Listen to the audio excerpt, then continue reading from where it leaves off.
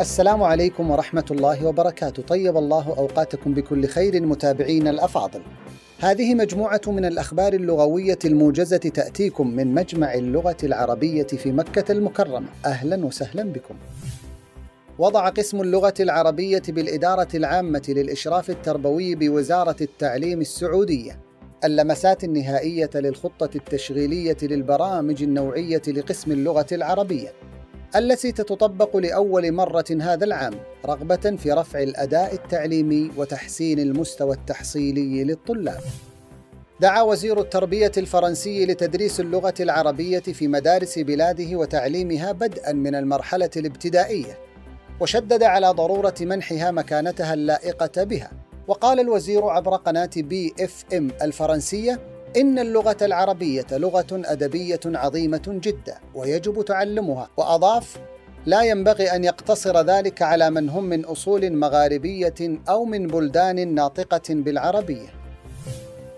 أقامت الملحقية السعودية بباكستان دورة تدريبية بعنوان مهارات البحث العلمي اللغوي العربي، واستقبلت الملحقية سعادة الدكتور فهد الملحم عضو مركز الملك عبد الله لخدمة اللغة العربية الذي يزور باكستان لتنفيذ برنامج تدريبي في معهد اللغة العربية في إسلام أباد خلال الفترة من العاشر إلى الرابع عشر من سبتمبر الجاري ضمن التعاون المستمر بين الملحقية ومركز الملك عبد الله.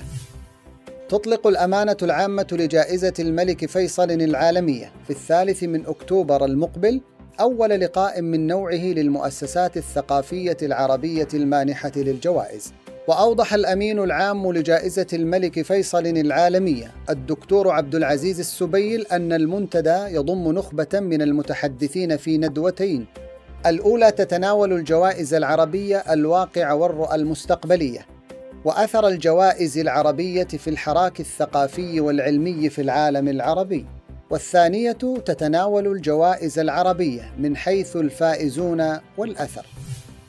أقام مجمع اللغة العربية بالقاهرة دورته المجمعية الخامسة والثمانين منذ إنشاء المجمع، واللجان اللغوية والعلمية المتخصصة بالمجمع تبدأ مناقشة أعمالها التي أعدت عقب انتهاء الدورة الرابعة والثمانين. تنظر لجنة الشباب والشؤون الثقافية والتربية والبحث العلمي بمجلس نواب الشعب التونسي في مشروع قانون يتعلق بترسيخ اللغة العربية ودعمها وتعميم استخدامها. ويلزم القانون المقترح الجهات الرسمية والخاصة في البلاد التونسية باستعمال اللغة العربية في جميع أعمالها عند التوثيق والتواصل مع المؤسسات والعموم والجهات الأجنبية. بمشاركة جماهيرية واسعة. نظم مجمع اللغة العربية في الناصرة مؤتمره السنوي تحت عنوان المعجمية العربية واقع وآفاق مناقشا عدة قضايا أبرزها حماية اللغة العربية وصناعة المعاجم وفنون اللغة والمصطلحات العلمية. وكان المجمع قد استقبل الجمهور بإهدائهم إصداريه الأخيرين. العدد التاسع من مجلته المجلة. ويوميات 2018-2019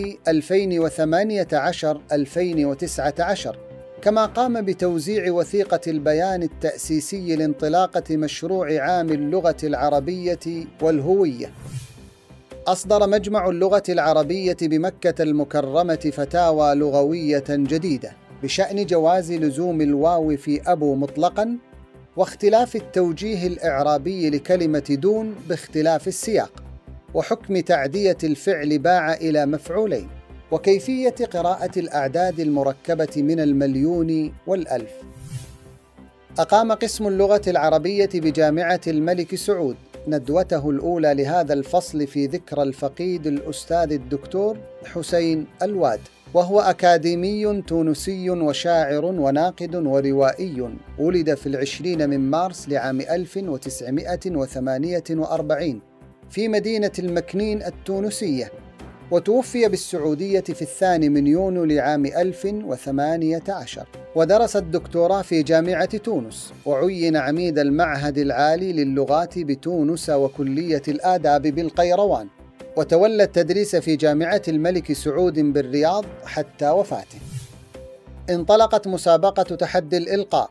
التي ينظمها مركز الملك عبد الله الدولي لخدمة اللغة العربية وموسوعة أدب العالمية بانتقاء قصيدة فصيحة وإلقائها في مقطع مرئي لا يتجاوز دقيقتين. وقد أغلق باب المشاركة نهاية يوم الخميس الثالث عشر من سبتمبر عام 2018 صدر حديثا اللغة العربية في زمن العولمة التحديات والآفاق للدكتور وفيق محمود سليطين عن الهيئة العامة السورية للكتاب. وفي تقديم الكتاب يرى الباحث أننا إذا ما أردنا تنمية رأس مالنا الرمزي الذي تمثله اللغة العربية وجب أن يكون لنا موقع على خرائط التغيير نعززه بالمشاركة وبالإسهام فيما يجري دفاعا أو تعديلا.